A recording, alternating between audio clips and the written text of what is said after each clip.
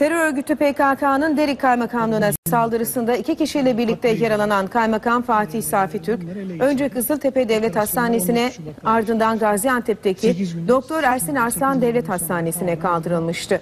Gaziantep valisi Ali Yerlikaya, hastanede yapılan ameliyatın ardından Kaymakam Safi Türk'ün şehit düştüğünü açıkladı.